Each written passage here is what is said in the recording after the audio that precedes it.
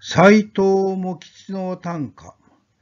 月落ちてさよほの暗くいまだかも。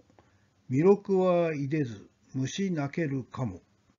死に近き母に添い寝の心身と遠田の河津天に聞こゆる。喉赤き唾くらめ二つ張りにいてたらちねの母は死にたまうなり。